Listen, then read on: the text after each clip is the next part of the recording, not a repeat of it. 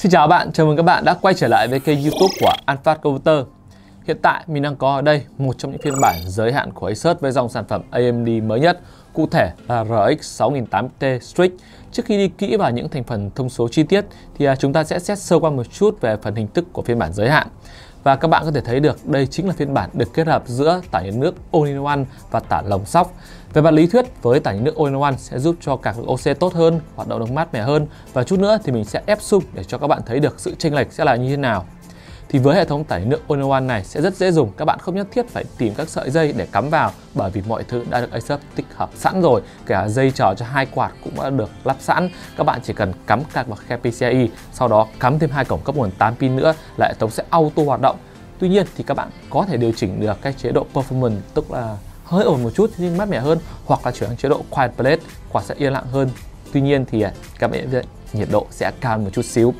Và hệ thống tản nhiệt lồng sóc theo kèm sẽ có tác dụng làm mát cho khu vực, cấp nguồn cho nhân GPU bởi vì cả có thể lên ăn. 330W điện, vô cùng hấp dẫn. Và đối với những dân ép sung ngon thì mình nghĩ có thể ăn đến tận 350W hoặc thậm chí có thể hơn được. Và tản nhiệt cho cả khu vực chip RAM, quan trọng nhất là để đối lưu gió ở trong vỏ cây các bạn được tốt hơn. Thì với tản nhiệt lồng sóc, nó sẽ hút gió trong vỏ cây và thổi ra đằng sau. Quá tuyệt vời đối với những vỏ cây mà các bạn tiết kiệm tiền mà không mua những hệ thống tản nhiệt quạt bên trên giống như mình đang có ở đây. Và bây giờ chúng ta sẽ tập trung vào phần quan trọng nhất, đó chính là sự tối ưu của hệ thống giữa các thành phần linh kiện.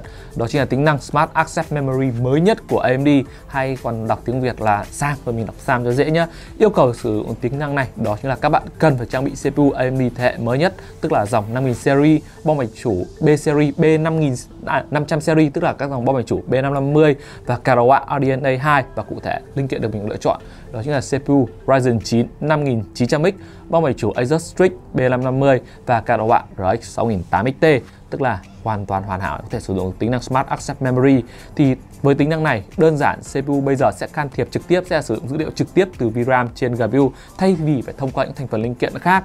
Và với việc giao tiếp trực tiếp sẽ mở ra được rất nhiều hướng đi mới. Hệ thống sẽ ít bị giới hạn bởi các thành phần linh kiện hơn. Tuy nhiên thì đây mới chỉ là một tính năng mới. Mức độ thực tế sẽ nằm ở những tựa game 4K và mức chênh lệch cao nhất sẽ là 11% ở trong điều kiện test tiêu chuẩn do AMD thực hiện. Một chút nữa mình test xem xem liệu có đạt nổi 11% nhé và để khẳng định thêm sự bá đạo của Karawat tản nhiệt nước, sử dụng tại nhiệt Ole One của Asus thì mình quyết định sẽ cho thêm một phần test nữa nên nâng tổng số bài test của mình sẽ lên làm 3 phần. Phần 1 sẽ là mình test trong điều kiện không kích hoạt tính năng Smart Access Memory, tức là trong điều kiện các bạn mua cạc về và các bạn bất kỳ một thành phần linh kiện nào. Phần thứ hai sẽ là lúc mình kích hoạt tính năng Smart Access Memory và đến phần thứ ba, phần try hard nhất, mình sẽ vừa kích hoạt tính năng Smart Access Memory và vừa ép xung Karawat RX 6080 XT luôn.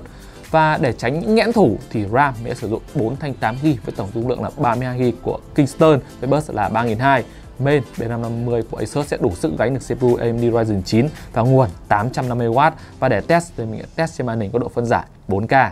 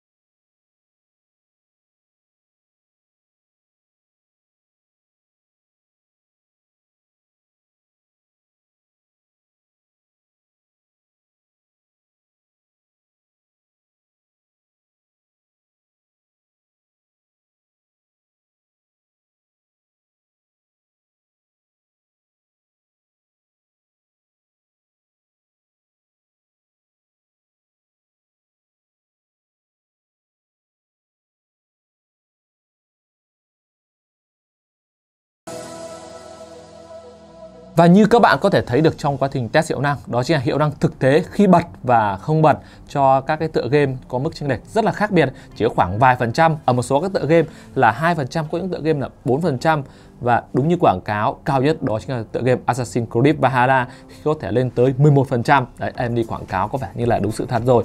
Nhưng mà theo mình cái mức cái chênh lệch đó mình phải ép sung cả đồ họa thì mới có thể đạt được còn nếu như mình không ép sung thì mức chênh lệch chỉ nằm ở khoảng chừng 4% hoặc là 5% đi cho chẵn nhưng mà cả họa khi mà ép dụng lên tận 10% rồi mà cái mức FPS chênh lệch chỉ khoảng 4% thì theo như mình thấy cái tính năng Smart Access Memory sẽ là một tính năng cực kỳ hay của AMD. Tuy nhiên, mọi thứ vẫn đang nằm ở chỉ ở mức tiềm năng để có thể phát triển thêm trước khi tạo ra được một dấu ấn mạnh mẽ đối với người dùng. Vậy thì ý kiến của các bạn như thế nào? Thì à, nếu như các bạn chọn mua những sản phẩm của AMD thì liệu có chọn mua tối ưu hay không? Hay các bạn cứ thích mua linh kiện nào thì các bạn mua? Hãy để lại ý kiến ở ngay dưới mục bình luận của video và dĩ nhiên đường link của bộ cây mình sẽ để ở ngay dưới phần mô tả để các bạn có thể click vào tham khảo cũng như chọn mua. Hẹn gặp lại các bạn ở trong những video sau.